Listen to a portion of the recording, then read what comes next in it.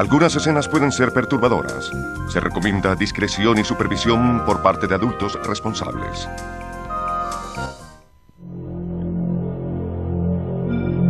Cuando un soldado boliviano mató a Ernesto El Che Guevara en octubre de 1967, este militar no tenía idea alguna que con esa muerte había dado a luz a una leyenda. Al igual que James Dean, que Marilyn Monroe, el Che en su muerte se había convertido en alguien más grande que la vida misma, un icono del siglo XX.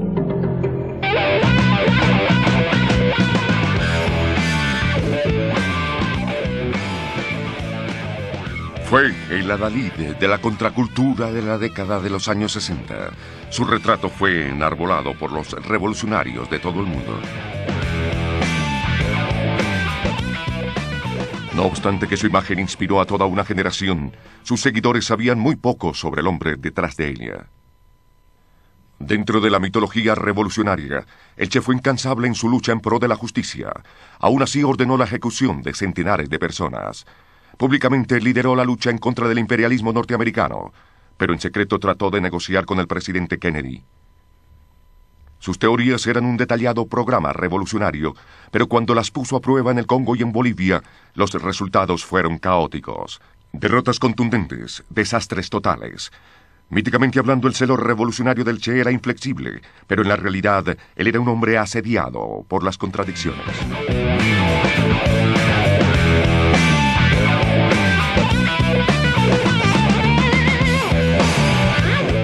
El Che Guevara.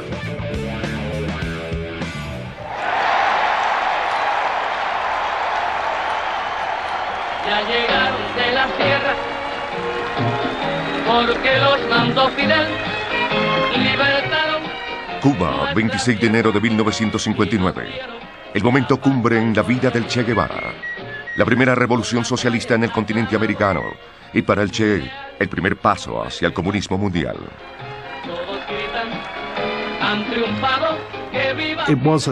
Era un ambiente carnavalesco, en parte porque era la primera vez que un país latinoamericano, bajo la mirada paternal del tío San, estaba siguiendo su propio curso.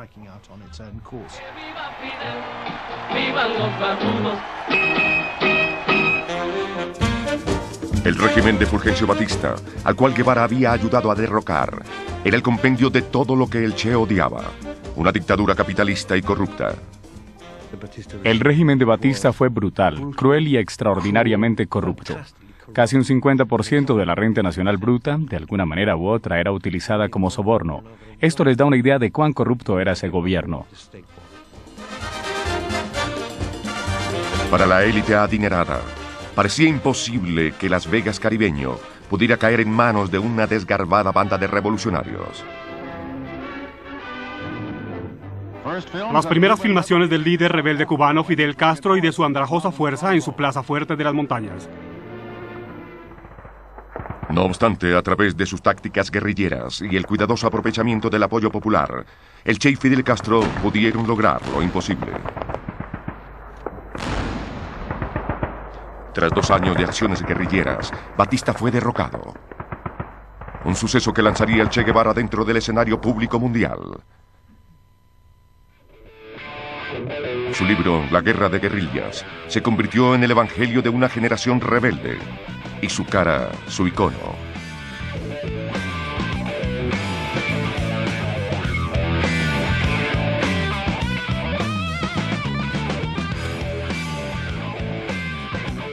Guevara también se convirtió en una estrella rock and rollera de la revolución.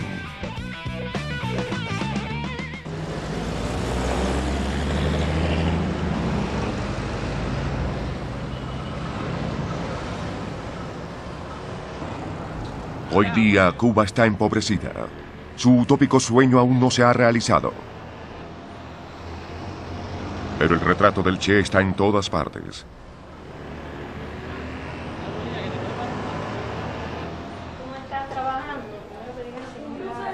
Cada día en los colegios, los niños le juran su fidelidad. Él es su héroe. Ayer hablamos de la solidaridad y hoy hablaremos de otro sentimiento que también une a viernes. Si alguna vez quieren que leemos como el Che. Pero ¿y qué de la niñez del Che? Ciertamente no fue pobre, ni tampoco era cubano.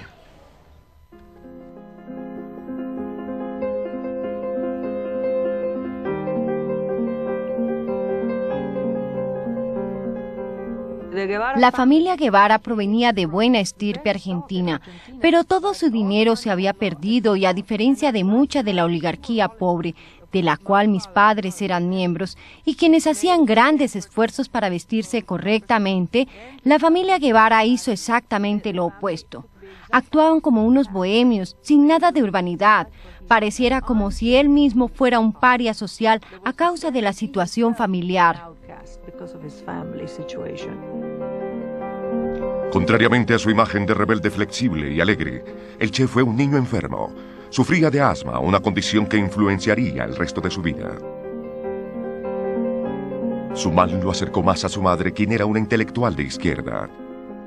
Durante su vida ella sería su confidente más cercana y leal, y fue quien inculcó en él su sentido rebelde.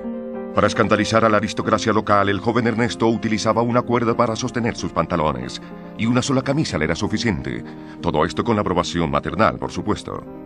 Jamás le escuché decir que era comunista, al contrario, se refería a los partidos políticos como una vil desgracia, porque no eran diferentes a otras instituciones, tal como la iglesia, la burguesía o el trabajo. A los 22 años de edad, el Che no era un revolucionario marxista irresponsable. Su rebeldía se expresaba en su instinto nómada.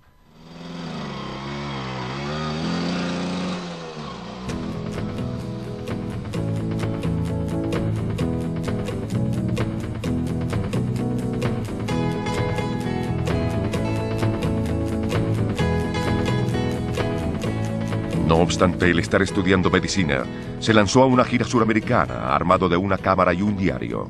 En una de las tantas ironías que llenaron su vida, el viaje que comenzaría a conformar su punto de vista marxista del mundo fue patrocinado por una compañía de motocicletas. Ellos descubrieron la oportunidad que otros más tarde encontrarían en el carisma del Che. Él apenas era semipolítico cuando se lanzó a ese largo viaje. Aprendía mucho durante cada kilómetro que recorría acerca de las condiciones de este vasto y variado continente. Veía por todas partes los problemas causados por los acaudalados hacendados y por los corruptos dictadores militares.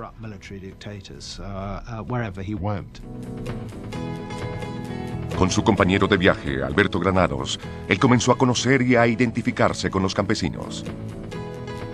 Durante el viaje hubo muchos momentos en que los dos respondimos en común ante un hecho cualquiera, ¿no? O sea que tuvimos una, una relación parecida, otra vez diferente. Pero hay una en la cual eh, creo que sí, sí nos hermanamos más que nunca, ¿no? Estando en, en un pueblecito, en Baquedano, en, en mismo Chile, nos encontramos con una pareja. Ese incidente lo menciona el Che en su diario personal. La noche monótona se transformó en una nota trágica y misteriosa. La pareja, pasmada de frío, acurrucándose dentro de las profundidades de la noche, eran un símbolo viviente del proletariado de todo el mundo. Les dimos una de nuestras mantas y con la otra nos cubrimos nosotros dos. Fue una de las noches más frías que yo haya pasado en mi vida. El Che todavía no había organizado sus pensamientos políticos, aunque la revolución era un tópico de conversación muy común entre sus jóvenes amistades. El año 1943, que tenía 15 años, empezó a expresarme que él creía que la única forma de llegar a obtener triunfo en la revolución era por la fuerza de las armas. El Che Guevara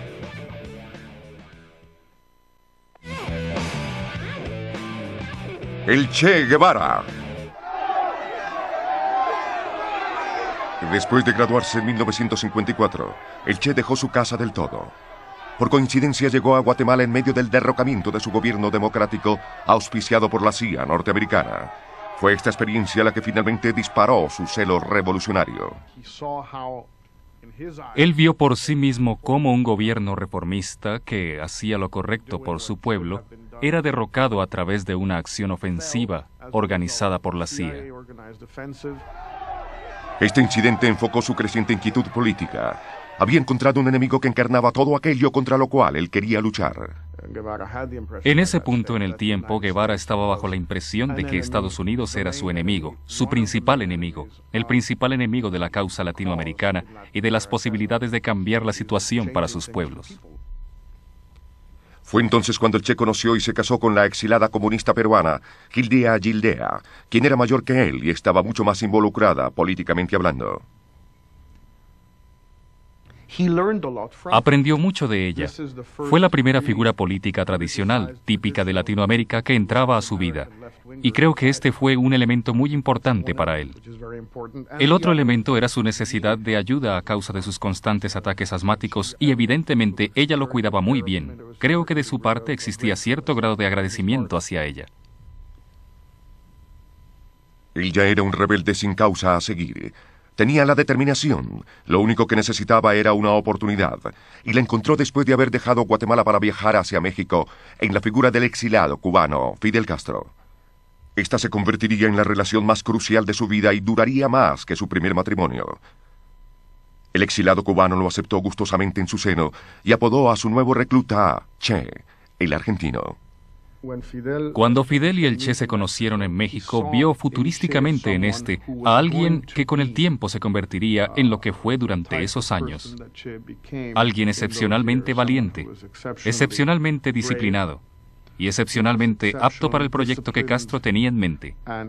Alguien que parecía poder discernir las cosas que Fidel sentía intuitivamente. Por eso es que yo creo que era una pareja casi perfecta, por lo menos durante esa etapa de sus vidas. La causa de Castro era justo lo que el Che buscaba. Fidel y su puñado de exilados tramaban el derrocamiento del dictador cubano Batista, quien era respaldado por el gobierno estadounidense. En diciembre de 1956, 81 cubanos y un extranjero, el Che, zarparon desde el Golfo de México en un pequeño bote llamado Granma, para iniciar acciones guerrilleras en la isla de Cuba. Entre ellos se encontraba Jesús Montañez. La salida de México eh, fue muy precipitada porque el, aparato de la Federal de México nos ocupó algunas eh, armas y no nos quedó más remedio que apresurar la salida. Entonces se dio el caso de que el Che eh, salió hacia, hacia Tuxpan, el lugar de donde nosotros íbamos a salir, sin su aparato de asma.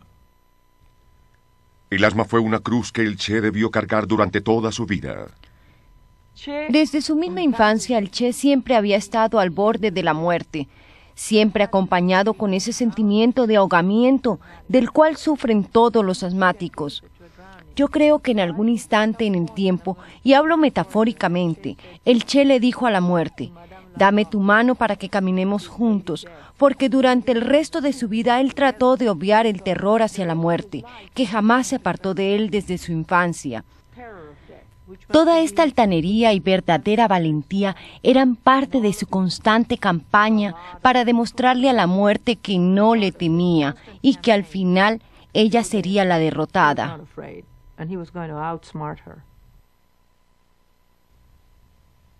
En Cuba rápidamente estableció su reputación dentro de la fuerza guerrillera de Castro. Esta filmación en la que se ve al Che en acción fue filmada después de la revolución como propaganda. No obstante su valentía, el Che era básicamente un hombre del frente. Castro era el verdadero táctico de la guerrilla y utilizaba la imagen y el carisma del Che con excelentes resultados. para dar al pueblo de Cuba el primer saludo que tengo oportunidad. La jugada maestra fue de Fidel. La decisión de dividir la isla en dos partes y de llevar gente desde la Sierra Maestra a las villas fue decisión de Castro, no del Che. Por lo cual sí se le puede dar crédito es por la ejecución de una misión extraordinariamente difícil, bajo condiciones sumamente adversas y de una manera que muy pocas personas hubieran podido lograrlo. Se necesitó dos largos años de horrible guerra para desterrar a Batista, y durante todo ese tiempo el Che fue el comandante preferido de Castro. Fidel protegió al Che, y cuando el Che cometió sus fallas, no se las atribuyeron al Che, sino a los capitanes que estaban con el Che. Así es que en este sentido, el afán de Fidel de utilizar al Che Guevara hizo que lo sobrevalorara, que lo sobreestimara. Pero la devoción del Che hacia la causa revolucionaria jamás fue puesta en duda. Así que cuando el nuevo presidente de Cuba tuvo que cobrar ciertas cuentas, escogió a su más cercano aliado para que las saldara. Guevara fue nombrado comandante en jefe aquí en La Cabaña, la corte militar con vista sobre La Habana. Su función era la de repartir justicia revolucionaria, y el Che lo hacía con una brutalidad que sorprendería hasta el más idealista de sus seguidores. En La Habana, la prensa extranjera escuchó a Fidel Castro, líder de los rebeldes, defender a las cortes marciales sumariales de miembros del depuesto régimen de Batista. Dijo que 400 de ellos se enfrentarían a pelotones de fusilamiento. Cada prisionero se pregunta si podrá escapar de la ágil justicia revolucionaria. En esta corte, durante los primeros meses de 1959, Guevara presidió sobre una serie de tribunales militares. En unos cuantos meses cientos de cubanos fueron condenados a muerte. No obstante el escepticismo de la prensa extranjera, Guevara no tenía duda alguna de que lo que él hacía era para el beneficio de Cuba. La violencia no es monopolio de los explotadores. También los explotados la pueden utilizar y de hecho deben hacerlo cuando la oportunidad se presenta. En la cabaña fue el sitio donde más ejecuciones hubo en Cuba. Muchas de estas ejecuciones fueron de una grandísima violencia. Y Guevara fue con Raúl Castro y con Ramiro Valdés, aparte de Fidel Castro, la persona Junto a esa producción de justicia en línea en la cabaña, el nuevo gobierno programaba la exhibición de otros espectáculos justicieros.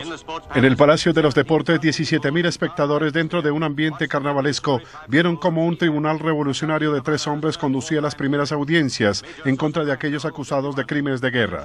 El mayor Sosa Blanco, de 51 años de edad, fue acusado de asesinato, tortura y robo. Entre los numerosos testigos en su contra estaba Angelio Estrada, de 12 años de edad. Sobre el estruendo de las galerías, los altoparlantes transmitían su testimonio. Aún antes de que el niño terminara su exposición, la multitud gritaba, mátenlo. Este es el estilo de la justicia revolucionaria en Cuba. No creo necesario añadir que el prisionero fue declarado culpable y sentenciado a muerte. Él lo veía como una necesidad, un necesario primer paso para la creación de un nuevo Estado para descartar al viejo. Yo sé que el tema está abierto a muchos debates y cuestionamientos, pero él, por ejemplo, dijo en uno de sus discursos, no podemos ser misericordiosos hacia aquellos que fueron responsables por el carácter opresivo del régimen de Batista. Yo creo que él lo veía como una purificación necesaria. Este proceso de depuración política tuvo como resultado 400 muertes, y esto solo en la cabaña.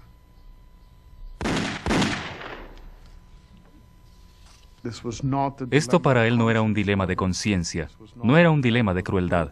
Él pensaba que la pena de muerte tenía que ser utilizada para propósitos revolucionarios y punto.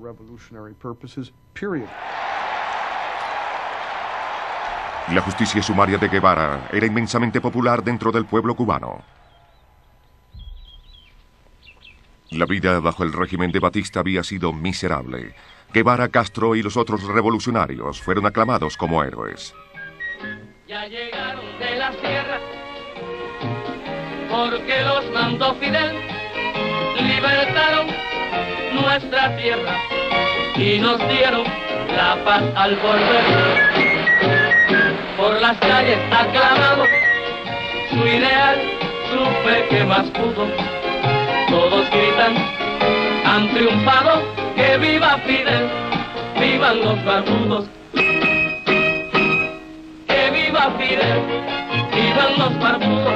viva Cuba libre, viva el 26. Muchas de las primeras medidas tomadas por la revolución fueron inmensamente populares.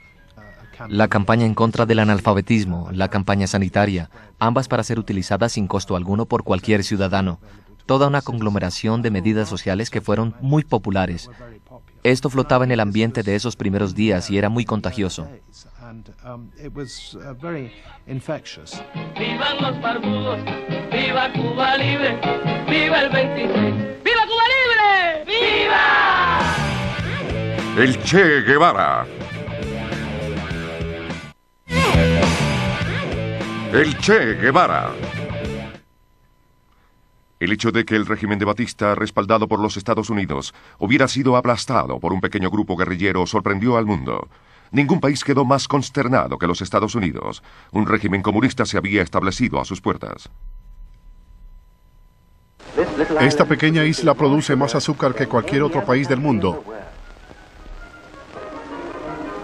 La primera reacción ante el levantamiento fue la de imponerle un bloqueo económico a Cuba.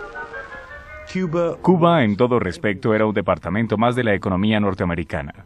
Su producto principal, el azúcar, era vendido en su totalidad a los Estados Unidos. Todo el comercio cubano dependía de ese país y al bloquearlo era como cortar su vena yugular.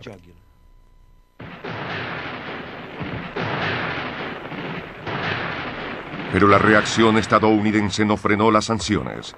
En 1961 la Cuba de Castro se vio bajo un ataque militar. Una fuerza invasora compuesta por cubanos anticastristas, respaldada por la CIA, desembarcó en la bahía de Cochinos y trató de abrirse paso. Los rebeldes invaden la Cuba de Castro. Tropas revolucionarias tal como estas han invadido las fortalezas de la isla de Castro. El liderazgo de Fidel se ve amenazado mientras corren rumores de deserciones. Pero el vehemente Castro no se queda sin palabras mientras ataca a lo que él llama el imperialismo de los Estados Unidos. Castro movilizó sus fuerzas en contra de la insurgencia. A los pocos días la fuerza invasora fue derrotada. El Che estaba feliz. Que Playa Girón es un símbolo para todos los pueblos oprimidos. Playa Girón es la primera derrota del imperialismo en América Latina, pero también es una de las primeras derrotas del imperialismo en escala mundial. La guerra en Cuba se había terminado. Llegaba el momento para reconstruir la economía del país. El Che fue nombrado cabeza del Banco Nacional y ministro del gobierno. Encerrado en esta oficina, sus tareas no eran de su gusto. Cuando escuché que el Che fue nombrado como jefe del Banco Nacional, recuerdo que me dio mucha risa y no paré de reírme. No podía más que sorprenderme por lo absurdo de este nombramiento, pues la persona menos apta en el mundo para esta clase de negocios financieros era el Che, y el pensar en él como director del Banco de Cuba era algo completamente inimaginable.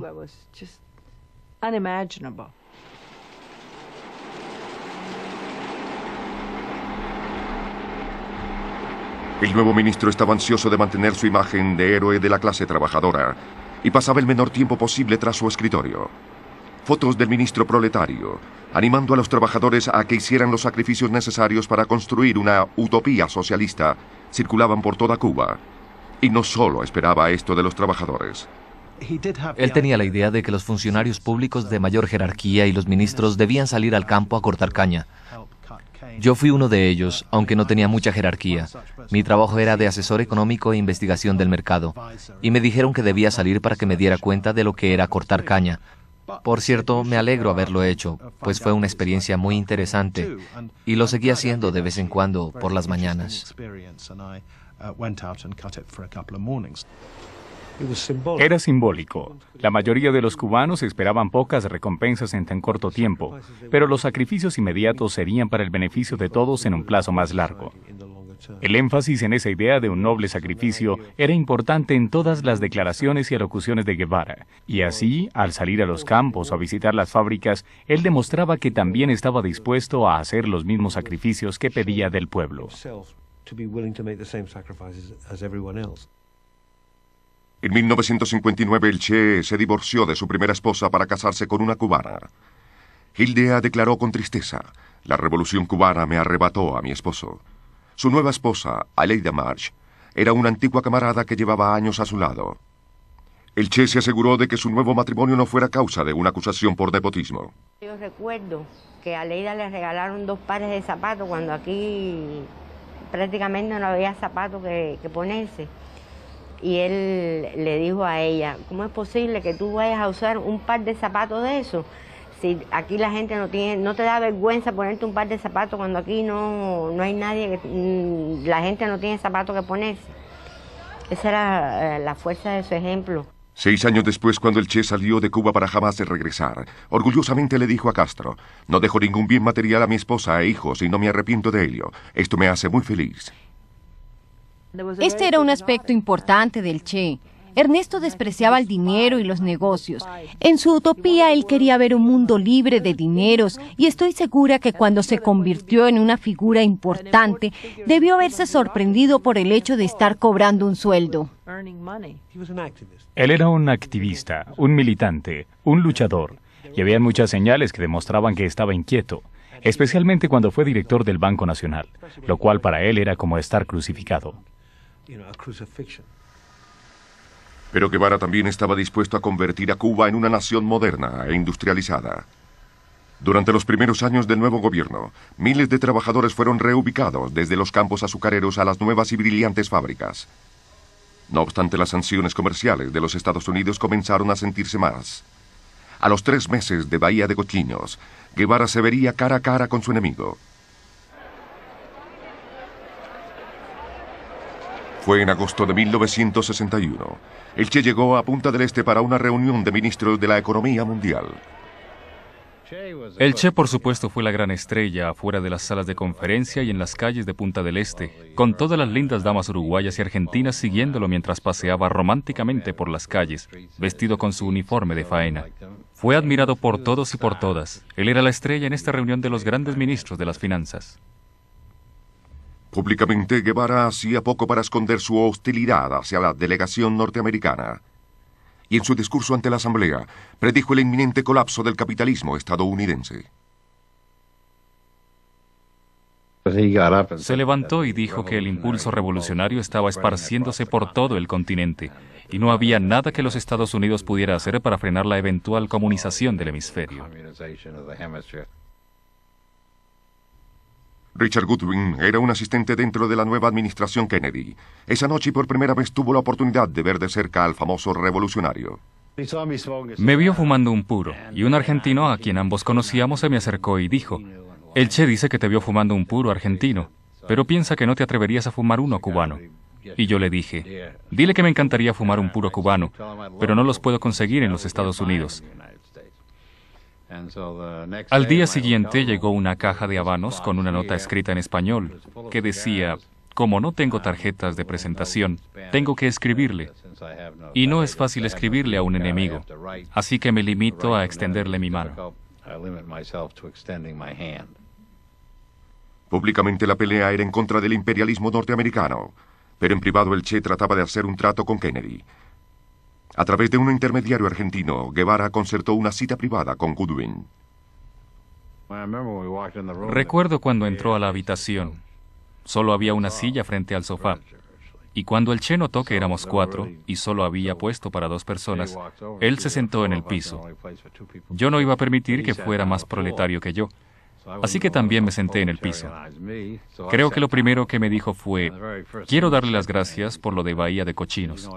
Nuestro apoyo era incierto y el país se tambaleaba.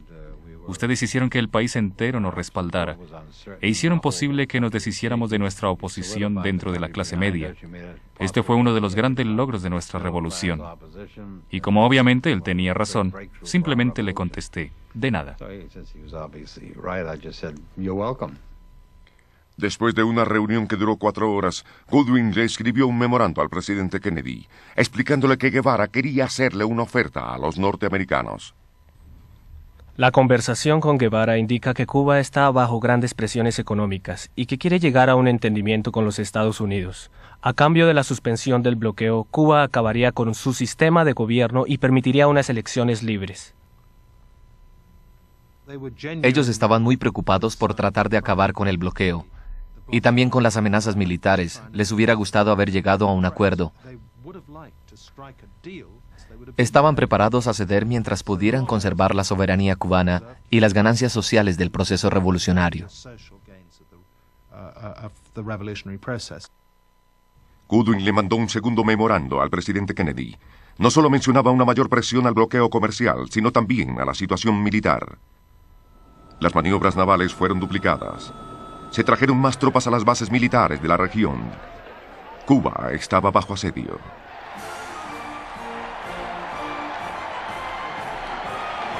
Cerradas las puertas a los Estados Unidos, Castro buscó la ayuda de la Unión Soviética. A cambio de ayuda económica, Castro le dio a Khrushchev la luz verde para la instalación de misiles nucleares en Cuba, apenas a 240 kilómetros de la costa norteamericana. Mientras los misiles eran transportados, Kennedy amenazó con una guerra nuclear si alguna vez se convertían en armas funcionales. La pequeña isla se había convertido en el foco de una confrontación entre los dos superpoderes.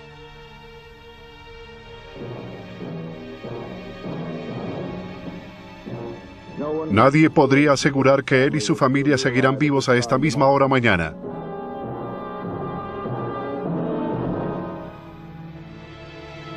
Después de cuatro días al borde del precipicio nuclear, Khrushchev cedió.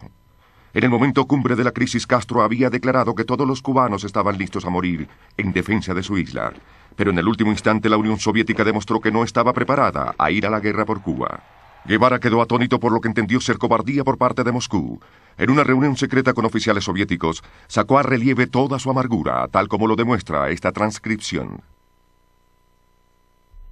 Es como si ustedes reconocieran y aceptaran el derecho de los Estados Unidos a violar las leyes internacionales. Ofendieron nuestros sentimientos al no habernos consultado, pero el peligro principal yace en la debilidad de la política soviética.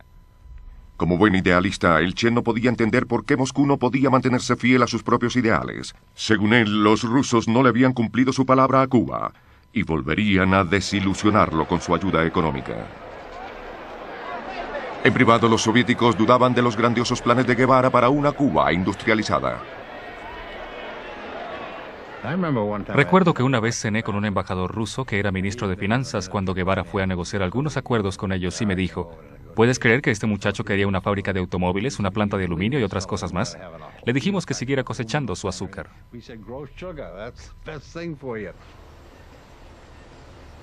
El equipo dado por los soviéticos era de pésima calidad y por ende la producción era igual.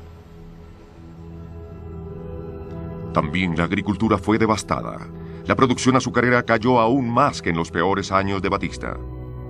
Los cubanos hacían cola en las calles para poder comprar las frutas que antes caían de los árboles. La política económica de Guevara había fallado. Nos equivocamos y tal vez yo sea el responsable.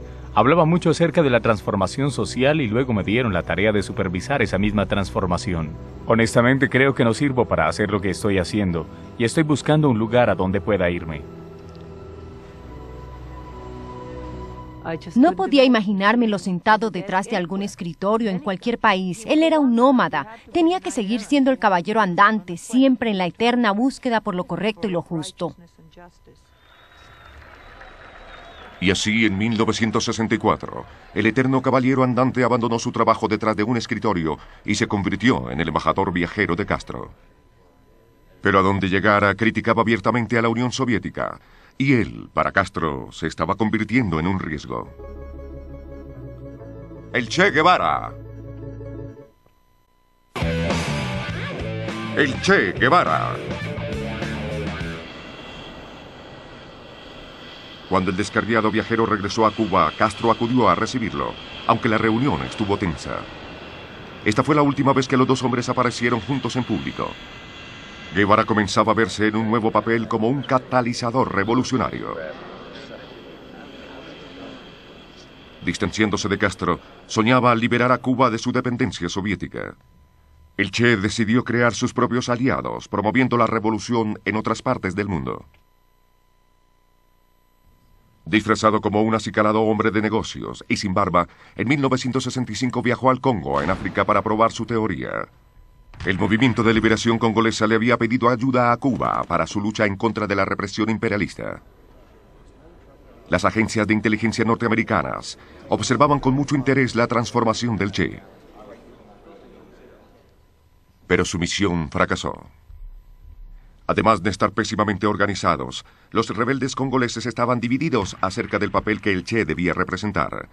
A las pocas semanas el levantamiento fue aplastado. Desde su principio fue poco el apoyo que Castro dio a la misión del Che.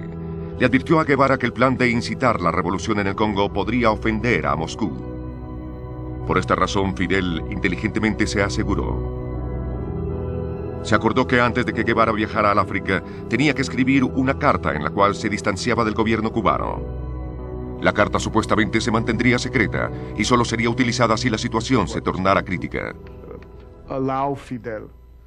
Eso era lo que le permitiría a Castro alejarse de la operación del Che en el Congo si fuera necesario por causa de razones internacionales. Si los soviéticos se sintieran ofendidos por su intervención o si hubiera algún problema con las Naciones Unidas, él podría decir, el Che está actuando por su propia cuenta. Él no es cubano, no es uno de los líderes de nuestro partido. Él no es un representante oficial de nuestro gobierno. Es mi amigo. Lo ayudo tanto como puedo, pero esta es su operación y decisión. Ya no tiene nada que ver con Cuba. Ahora, mientras el héroe revolucionario languidecía en la selva congolesa, Castro repensaba su situación. El implacable celo revolucionario del Che se convertía en un peligro. Había llegado la hora de ocuparse de este problema. Explicar esto, vamos a leer una carta aquí Su oportunidad llegó durante un mitin político en La Habana. En una audaz jugada, Castro le leyó a sus asistentes la carta que Guevara le había entregado en secreto unos meses atrás. Ernesto Guevara.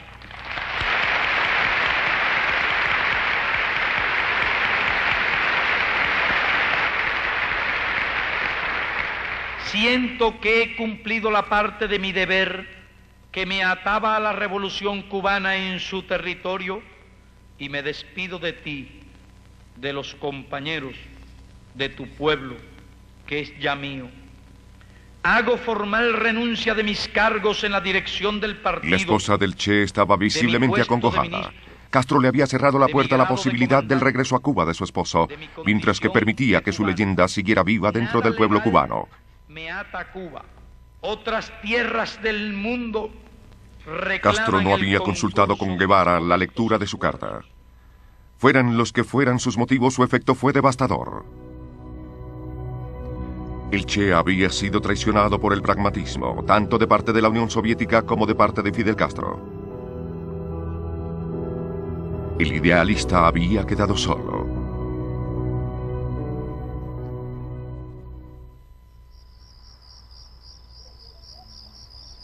Bolivia, 1966. El Che regresó a sus raíces en la guerra de guerrillas, escondiéndose en la selva boliviana. Su meta era la de iniciar una revolución que se extendiera por toda Sudamérica. Como exilado, este se convertiría en su último y desesperado intento para reconquistar el triunfo del cual había disfrutado durante la Revolución cubana. Pero esta vez no tenía la ayuda de su antiguo mentor, Fidel Castro. Sin él, el Che se enfrentaría a una serie de acciones desastrosas, cada una de ellas subrayando su debilidad como líder guerrillero. Su mayor error fue el de haberse hecho acompañar de tan solo 12 hombres. Guevara creía que el único requerimiento para iniciar una revolución era la existencia de una pequeña y cerrada organización revolucionaria, totalmente dedicada y dispuesta a cualquier sacrificio que pudiera de alguna manera iniciar o continuar una revolución.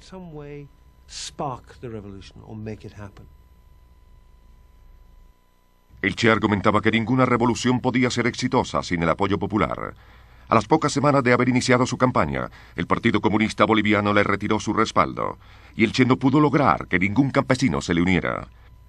El Che había fallado en la siembra de su base política. El gobierno de Bolivia sabía que Washington observaba la situación muy atentamente y no quería que éste interviniera. El problema tenía que ser solucionado rápidamente, Gary Prado era un capitán del ejército que trabajaba dentro de las operaciones contra insurgentes bolivianas. Se hablaba de la posibilidad de que Bolivia se pudiera convertir en otro Vietnam. Así que el ejército necesitaba solucionar ese problema rápidamente antes de que se tornara más espinoso y provocara la intervención de una fuerza militar extranjera en nuestro país.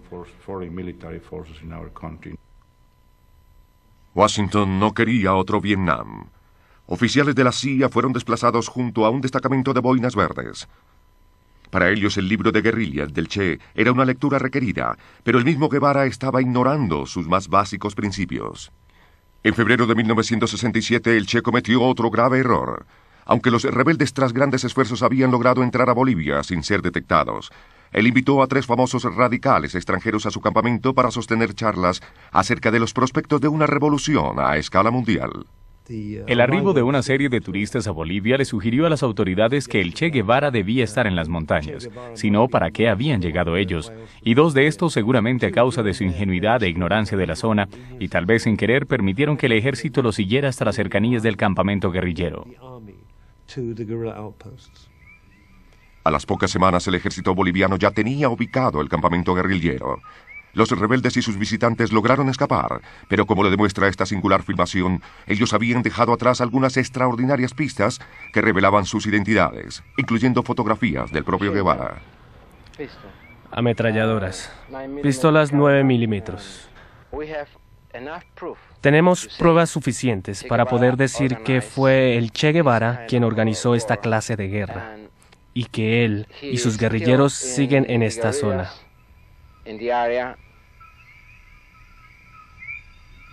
Con el ejército pisándoles los talones, los rebeldes se vieron forzados a retirarse. Sus únicos ataques fueron hechos en contra de farmacias locales para conseguir medicamentos para el asma del Che. Cerca la aldea de Bellavista, Guevara dejó un contingente mientras le escoltaba a los extranjeros. Este fue su último error. Ahora existían dos grupos divididos. Durante meses rondaron la selva a veces a solo unos minutos de distancia. Los rebeldes ya expresaban abiertamente sus dudas acerca de la capacidad de liderazgo de Guevara. Varios ya habían desertado. En septiembre Guevara recibió noticias de que el otro contingente había sido dado de baja por soldados bolivianos. Gary Prado había estado al mando de la unidad que fue asignada para buscar a los rebeldes. Recuerda que mientras más se acercaban, más irracionales eran las acciones de Guevara. Comenzaron a movilizarse dentro de una parte de la provincia de Valle Grande, que contenía muchas aldeas pequeñas, y se movían durante el día, a sabiendas que todos estos caseríos tenían líneas telefónicas y que la gente le avisaba al ejército de sus movimientos. Finalmente, el 8 de octubre de 1967, Prado pudo cercar a Guevara y a sus hombres. Yo tenía a dos soldados cuidando el puesto de mando. Estaban como a 50 metros hacia arriba, de este lado de la quebrada. Vieron a dos guerrilleros tratando de salirse de la quebrada. Esperaron a que se acercaran y entonces les ordenaron que hicieran alto. Les dije que soltaran sus armas y comencé a hablar con ellos para tratar de identificarlos. No había duda alguna que uno de ellos era extranjero. Así que le pregunté quién era y me contestó que era el Che Guevara y que era más valioso vivo que muerto.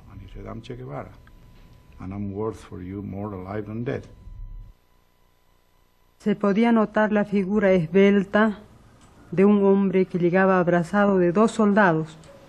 Caminaba con dificultad. Lo hicieron llegar a la escuela y fue una de las primeras que yo entré acompañada de un militar a conocerlo. Entré y cuando me lo miré, me sorprendí y me incliné atrás. No me imaginé que haya sido un hombre tan simpático, una figura incomparable. No, no había que aumentarle ni que disminuirle.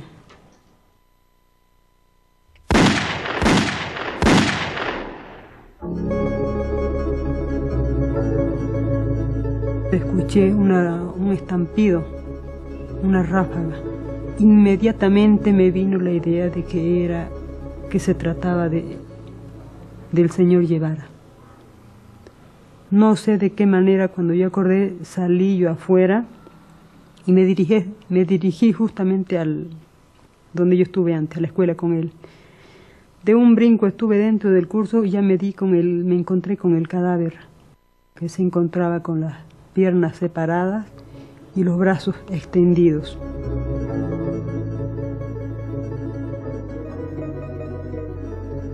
La muerte del Che dejó atónito al mundo.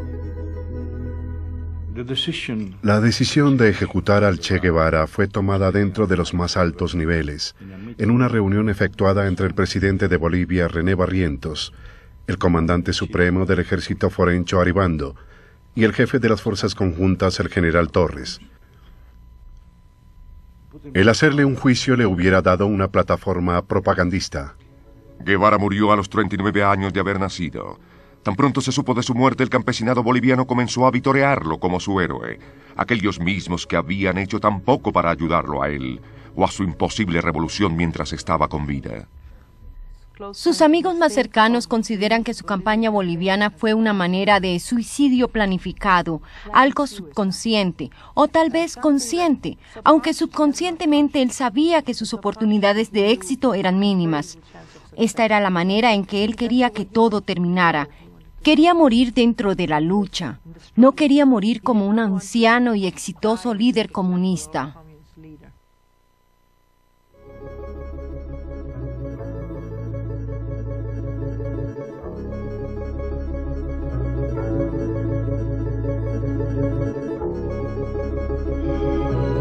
La muerte del Che profundizó la leyenda, otorgándole una juventud perpetua y una cara con la cual se han identificado millones de personas.